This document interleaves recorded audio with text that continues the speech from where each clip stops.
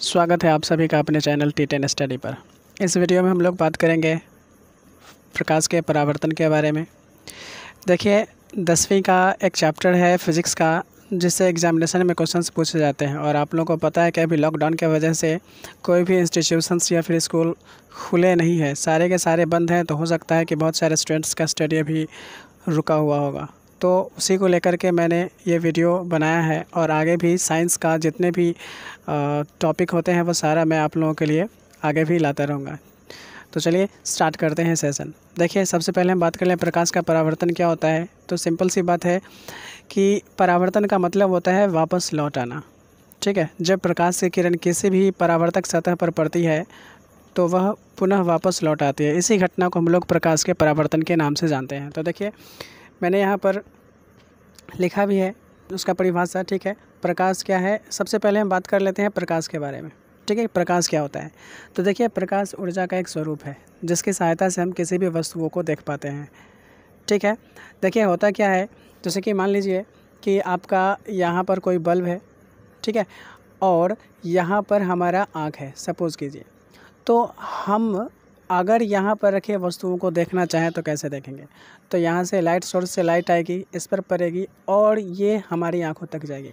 तो देखिए यहाँ पर ये एक ही किरण नहीं जाएगी। यहाँ पर कम से कम किसी भी वस्तु को देखने के लिए दो किरणों की ज़रूरत होगी। ठीक है? एक तो आएगा आपका आँख के नीचे वाले पोर्शन पर और एक आएगा ऊपर वाले पोर्शन पर। ठीक है? कम से कम दो, ज़्यादा से ज़्यादा जितने हो सके। ठीक है? तो जब रिफ्लेक्ट होकर के हमारी आँखों तक आती है, तब हम इस वस्तु को देख पाते हैं। ठीक है? तो समझ में आ गया आ गया होगा प्रकाश क्या है? प्रकाश एक प्रकार की ऊर्जा है, जिसके कारण हम किसी भी वस्तुओं को देख पाते हैं। ठीक है? अब देखिए, मैंने यहाँ पर यह बताया कि ये कोई भी ऑब्जेक्ट था जिससे कि लाइट निकली। तो जो भी वस्तु प्रकाश उत्सर्जित करता हो, ठीक है? उसे हम किस नाम से जानेंगे? तो देखिए, जिस वस्तु से प्रकाश निकलता हो, उसे क्या कहेंगे? प्रकाश स्रोत कहेंगे। ठीक है? याद रहेगा। अब नेक्स्ट है आपका कि वैसी वस्तु जो प्रकाश उत्सर्जित करता है, उसे क्या कहेंगे? तो देखिए, प्रकाश उत्सर्जित करने वाले वस्तु को प्रदीप्त वस्तु कहते हैं। जैसे प्रकाश कौन कौन सा उत्सर्जित करता है तो हमने देखा है हमारे घरों में जो लालटेन आता है, लैंप है, ठीक है, या फिर सूर्य है, इन सभी से प्रकाश निकलता है। तो ये हो गया आपका प्रदीप्त वस्तु या फिर कह लें ल्यूमिनस लाइट। उसके बाद हम बात कर लें वैसे वस्तु जो प्रकाश उत्सर्जित नहीं करता हो, उसे हम क्या कहेंगे? तो देखिए, जो वस्तु प्रकाश उत्सर्जित नहीं करता हो, उसे हम अप्रदीप्त या नन ल्यूमिनस कहेंगे। जैसे हमारे घरों में बहुत सारे ऐसे चीज़ें हैं जिससे कि प्रकाश नहीं निकलता है। जैसे कि बेंच, डेस्क, कुर्सी वगैरह जो होते हैं, उनसे प्रकाश सिमिट नहीं होता है। तो हम उसे क्या कहेंगे? नन ल्यूमिनस बोलेंगे। ठीक है? अब एक सरल रेखा पर चलने वाली प्रकाश को क्या कहा जाता है? तो देखिए, प्रकाश का एक नेचर होता है कि वो हमेशा सरल रेखा में ही ट्रैवल करेगा, कुछ इस तरीके से, ठीक है? और इसी सरल रेखा में ट्रैवल करने के गुण के कारण ही क्या होता है? किसी भी वस्तु का परछाई बनता है। याद रहेगा? याद रखेंगे इन सभी चीज़ों को। उसके बाद क्या है कि प्रकाश के किरणों के समूह को हम किस नाम से बुलाते हैं? तो उसको बुलाते हैं किरण पुंज। देखिए, ये एग्ज़ाम के लिए इंपॉर्टेंट है। एग्ज़ाम में पूछे जाते हैं कि बीम किसे कहते हैं या किरण पुंज किसे कहते हैं तो याद रखिएगा, प्रकाश के किरणों के समूह को ही क्या कहते हैं? किरण पुंज कहते हैं। अब देखिए, किरण पुंज कितने प्रकार के होते हैं? तो याद रखिएगा, किरण पुंज होते हैं तीन प्रकार के। ठीक है? एक तो अपसारी किरण पुंज, एक समानांतर किरण पुंज और एक अभिसारी किरण पुंज, ठीक है? हम सबसे पहले बात कर लें अपसारी किरण पुंज क्या होता है। देखिए, अप नाम से स्पष्ट होता है अप मीन्स उठना, यानी कि फैलना। तो क्या बोलेंगे? जो वैसा किरण पुंज जो किसी एक बिंदु स्रोत से निकलकर फैलता चला जाता हो। इस तरीके के किरण पुंज को हम लोग क्या बोलेंगे? अपसारी किरण पुंज कहेंगे, जैसा कि आपको यहाँ पर पिक में दिख रहा होगा, ठीक है?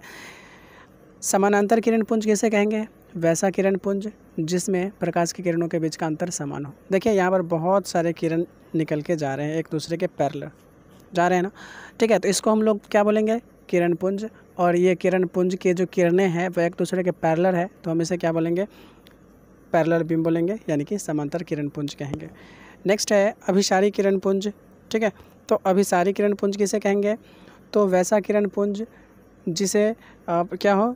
प्रकाश एक ही बिंदु पर आकर के मिलती हो। ठीक है, वैसा किरण पुंज जिसमें, यहाँ पर मैं कर लीजिएगा, जिसमें प्रकाश की किरणें किसी एक बिंदु पर आकर मिलती हो, ठीक है, उसे क्या कहेंगे? अपसारी किरण पुंज। यहाँ पर देख लीजिए, यहाँ पर क्या है, लाइट किस तरीके से आ रही है? ऐसे आ रही है और किसी एक बिंदु पर आकर के मर्ज होती जा रही है। तो इस तरीके के बिम को हम लोग क्या बोलेंगे? कन्वर्जिंग बीम बोलेंगे। चलिए नेक्स्ट देख लेते हैं। अब देखिए, बहुत सारे ऐसे पदार्थ होते हैं जिनसे कि लाइट आसानी से क्रॉस कर जाता है। कुछ ऐसे भी होते हैं जिससे क्रॉस नहीं कर पाता है और कुछ ऐसे होते हैं जिससे कि थोड़ा बहुत क्रॉस करता है, ठीक है? तो इस आधार पर पदार्थ को तीन कैटेगरी में डिवाइड किया गया है। एक वैसा, जिससे कि प्रकाश पार कर जाए, एक वैसा, जिससे प्रकाश पार नहीं कर पाता है और एक वैसा, जिससे कि प्रकाश थोड़ा बहुत पार कर पाता है। तो उसका नामकरण क्या करेंगे? तो देखिए, वैसा वस्तु जिससे कि प्रकाश आसानी से पार कर जाता हो, उसे क्या कहेंगे? पारदर्शी या फिर ट्रांसपेरेंट कहेंगे, ठीक है? और वैसा वस्तु जिससे कि प्रकाश पार नहीं कर पाता हो, उसे क्या कहेंगे? अपारदर्शी या ओपेक कहेंगे। और जिससे प्रकाश का थोड़ा भाग ही पास कर पाता हो, उसे क्या कहेंगे? पारभाषी या फिर ट्रांसलूसेंट कहेंगे, ठीक है? अब देखिए, अब हमारा मेन टॉपिक आता है, जैसा कि चैप्टर का नाम था तो चैप्टर के नाम से ही अब मेन टॉपिक आता है आपका प्रकाश का परावर्तन, ठीक है? तो प्रकाश का परावर्तन क्या है? तो मैंने जब टॉपिक स्टार्ट किया था, उसी समय बताया था परावर्तन का मतलब क्या होता है? वापस लौट के आना। ठीक है? तो जब प्रकाश की किरण किसी भी रिफ्लेक्टेड सरफेस पर पड़ती है तो वह पुनः अपने माध्यम में लौट आती है, या यूँ कहें कि वापस लौट आती है। इसी घटना को हम लोग बोलते हैं प्रकाश का परावर्तन। जैसे यहाँ पर देख लीजिए, ये आपका क्या है? एक परावर्तक सतह है। ठीक है? ये लाइट रेज ऐसे आती है और इसे टकराने के बाद ऐसे रिटर्न आ जाती है। इसी घटना को हम लोग किस नाम से जानते हैं? प्रकाश के परावर्तन के नाम से। तो परिभाषा याद रखिएगा एग्ज़ाम में पूछे जाते हैं। अब देखिए, यहाँ पर आपको पिक में दिख रहा होगा, ये जो आने वाली किरण है, ठीक है? ये जो लौटने वाली किरण है, ये या फिर ये पॉइंट इन सभी का नामकरण क्या है, ठीक है? तो इससे भी एग्जामिनेशन में क्वेश्चंस पूछे जाते हैं। तो देखिए यह जो किरण आ रही है, यानी कि परावर्तक सतह पर जो किरण आ रही है तो परावर्तक सतह पर आने वाली किरण को बोलते हैं आपतित किरण। क्या कहते हैं? आपतित किरण। उसके बाद, परावर्तक सतह से टकराकर ये जो किरण लौट रही है, ठीक है? यानी परावर्तक सतह से टकराकर लौटने वाली किरण को क्या बोलते हैं? परावर्तित किरण कहते हैं, ठीक है? अब देखिए, ये जो आपतित किरण दर्पण, ये जो दर्पण है, इसके जिस बिंदु पर पड़ी, ठीक है? यानी कि आपतित किरण परावर्तक सतह के जिस बिंदु पर आपतित होती है, उसे क्या कहेंगे? तो उसे कहते हैं आपतन बिंदु, ठीक है? और देखिए, इसी आपतन बिंदु पर अगर हम एक नॉर्मल डाल दें, यानी कि लंब डाल दें तो इसी को हम क्या बोलेंगे? अभिलंब कहेंगे। तो इस तरीके से रिलेटेड करके एग्ज़ाम में बहुत सारे क्वेश्चंस पूछे जाते हैं। ठीक है? चलिए तो हम देख लेते हैं क्या है। आपतित किरण किसे कहेंगे? तो मैंने जस्ट कहा था, परावर्तक सतह पर आने वाली किरणों को आपतित किरण कहते हैं। परावर्तित किरण किसे कहेंगे? तो परावर्तक सतह से टकराकर लौटने वाले किरण को परावर्तित किरण कहेंगे। आपतन बिंदु, यानी कि परावर्तक सतह के जिस बिंदु पर आपतित किरण पड़ती है, उसे आपतन बिंदु कहेंगे। नॉर्मल या अभिलंब किसे कहेंगे? तो आपतन कोण पर डाला गया जो लंब होता है, उसी को क्या कहते हैं? अभिलंब कहते हैं। नेक्स्ट है आपका आपतन कोण। देखिए, आपतन कोण जो होता है, देखिए मैं फिर से समझा रहा हूँ। यहाँ पर गौर कीजिएगा। ये जो किरण आ रही है, ठीक है, और ये जो नॉर्मल है, इसके बीच का जो एंगल बनता है, उसी को बोलते हैं आपतन कोण। ठीक है? और यहाँ से जो किरण परावर्तित हो रही है और ये जो अभिलंब के साथ एंगल बनाता है, इसको बोलते हैं क्या? परावर्तन कोण। तो क्या याद रखेंगे? आपतन कोण किसे कहेंगे? तो आपतित किरण अभिलंब के साथ जो कोण बनाती है, उसे हम क्या कहेंगे? आपतन कोण कहेंगे, ठीक है? और परावर्तित किरण अभिलंब के साथ जो कोण बनाती है, उसी को क्या बोलेंगे? परावर्तन कोण कहेंगे। तो देखिए, वही चीज़ मैंने यहाँ पर लिखा है, आपतन कोण, आपतित किरण का अभिलंब के साथ बनाया गया कोण। आपतन कोण कहलाता है?